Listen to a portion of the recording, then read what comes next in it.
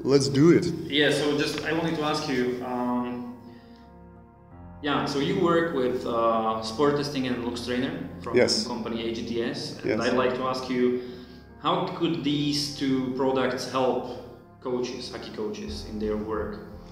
Okay, so uh, my job starts when they come back from the hockey season, and uh, we prepare them for following hockey season.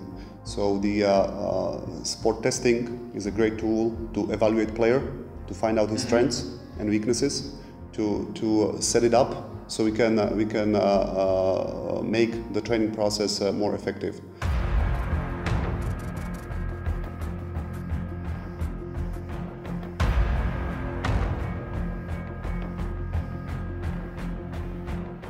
We, we work uh, long term with players.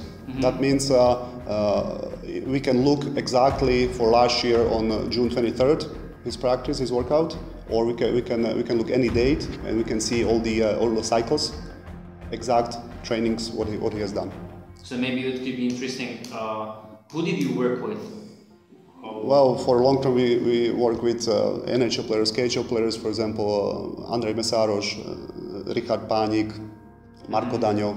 There, there are several.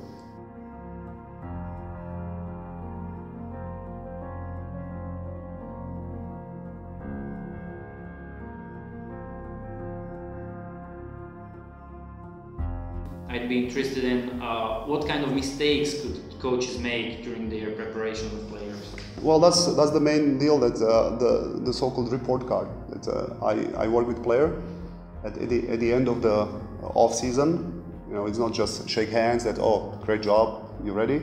We can have actually print out on papers and show. Look, you came in I know in May. Uh, this is how high you jumped. This is how strong you were.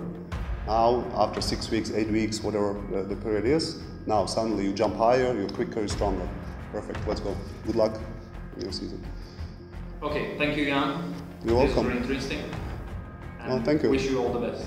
Thank you very much.